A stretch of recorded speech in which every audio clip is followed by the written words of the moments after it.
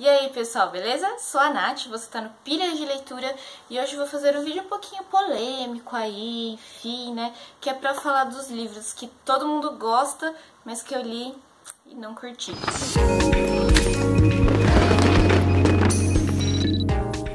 Não esqueça que a gente tá em veda, hein? Teve vídeo ontem, vai ter vídeo de novo amanhã. Se você perdeu algum vídeo, a playlist tá aqui em cima pra você ficar sabendo de tudo que tá rolando aqui. Antes de tudo, eu só queria dizer que não é que eu odeio os livros que eu vou falar aqui, eu só não gostei tanto quanto a maioria das pessoas está falando e principalmente eu não entendo por que teve tanta hype em cima dos livros. O segundo ponto antes de eu começar também é que eu aprendi, né, lendo livros assim, não gostando de livros que estavam muito hypados, eu aprendi a não ler o livro quando tá todo mundo falando do livro, porque normalmente quando tá todo mundo falando do livro eu leio, eu acabo achando algum defeito falando, putz, mas não é para tudo isso. E às vezes é meio que uma implicância mesmo, só porque o livro tá lá, todo mundo falando dele. Minha lista tem cinco livros aqui, mas antes de tudo eu queria saber de você.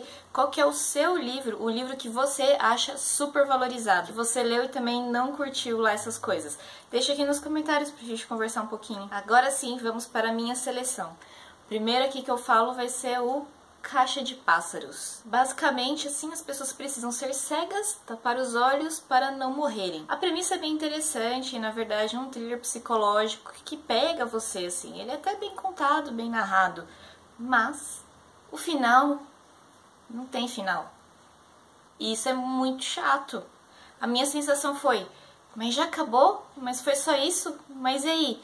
Eu até fui ver se não tava faltando página, assim, porque, sei, tava faltando alguma coisa e até hoje eu tenho essa sensação de que tá faltando alguma coisa na história. Um outro livro aí que eu tive também uma sensação bem parecida com Caixa de Pássaros foi o Demonologista. No Demonologista a gente tem um professor que é especializado no diabo e aí ele tem uns rolos na vida dele, ele se envolve em umas coisas lá justamente por ele ser especialista no diabo e aí tem o desaparecimento aí de uma pessoa, então começa a envolver umas coisas da família dele. Também tem uma premissa muito interessante e você vai pensar, nossa, dá pra ser uma história de terror assustadora, né?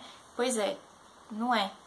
O livro, na verdade, ele é bem arrastado durante vários pontos, assim, tem vários capítulos que você fala, e daí? E o final é bem rápido, então é mais ou menos assim, ele enrola um pouco em umas partes no começo, e o final acaba tudo bem rápido, aí você fala, e, e, e acabou. Então acaba não sendo um final, assim, muito satisfatório na minha opinião. E vamos lá, né? Nem os clássicos são perfeitos. Um livro que eu não curti muito aí foi O Apanhador no Campo de Centeio. No Apanhador do Campo de Centeio a gente tem um adolescente bem filhinho de papai, assim, bem daqueles que inconsequentes, fazem as coisas e não estão nem aí, ninguém disciplina ele. E ele é expulso do colégio interno. Ele consegue escapar mesmo do colégio interno, tipo, sem precisar que o pai ou a mãe dele vá lá buscar ele. E aí, com esse medo de falar com os pais e falar que ele foi expulso de novo, que ele é a vergonha da família de novo, ele pega e vai dar um rolê, assim, né? E daí ele encontra umas pessoas e aí ele vai tentando meio que se abrir, vai tentando conversar com elas ele não sabe muito bem nem o que ele tem para dizer para essas pessoas tal, né? Então, representa bem, assim, um adolescente problema, que não sabe muito o que é da vida. Eu consigo até entender realmente o que esse livro representou na época, porque foi o primeiro livro que tinha essa pegada, assim, né, pra falar de adolescente, então ele bem representa esse divisor mesmo, né, de antes, quando ninguém se falava de adolescentes, para quando começou a se dar mais importância para esse período da vida. Então eu consigo entender, de verdade, consigo entender porque que ele foi tão importante para a época dele. Mas, gente, não tem graça nenhuma o livro fala uns palavrãozinhos lá, uns negócios, mas nada demais. Depois a gente tem aí um autor best-seller, né? O John Green. John Green de A Culpa das Estrelas. Eu até que curti A Culpa das Estrelas, tem lá seus méritos, mas aí eu fui ler alguma outra coisa dele para ver se era implicância minha, assim, ou se, sei lá, né? Eu não gostava mesmo de John Green. E aí eu li Cidade de Papel. Gente, que coisa sem graça. Margot é chata pra caramba. Tanto que no filme eles até mudaram algumas coisinhas, mudaram um pouquinho o final lá e tal, porque eles viram que o livro era sem graça. Então eu não vou nem muito entrar em detalhes aí, mas mas não, não bateu, não rolou aquela química, assim. Eu achei um livro bem, né? Ah, vamos escrever aí para fazer uma história para vender. Sei lá, sem graça. E para finalizar aqui essa minha lista, vou falar de um que vocês já sabem que eu não gosto muito, porque eu já comentei antes, que problema é realmente com a escrita do autor, que é A Cabana.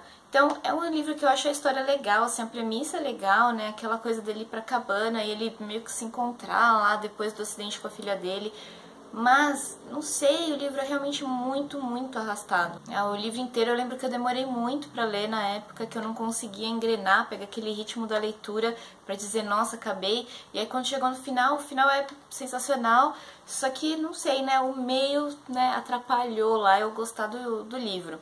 Mas como eu falei, eu gosto da história, teve o filme, eu achei que no filme ficou mais legal, que não ficou tanto essa coisa enrolada assim no meio. Então, fica aí uma história que é legal, só que com uma escrita que eu não curti nem um pouquinho. Pessoal, esses aqui foram os livros que eu lembrei, com uma ajudinha lá do Scooby, quando eu fui dar uma olhada nas notas que eu dei nos livros. Obrigada por ter assistido o vídeo até aqui, pessoal. Não esquece de se inscrever no canal, caso ainda não for inscrito, dar aquele curtir no vídeo para ajudar a compartilhar o conteúdo, espalhar para todo mundo que a gente está em Veda aqui e também tem conteúdo no Face e no Scooby. Obrigada e até a próxima. Tchau!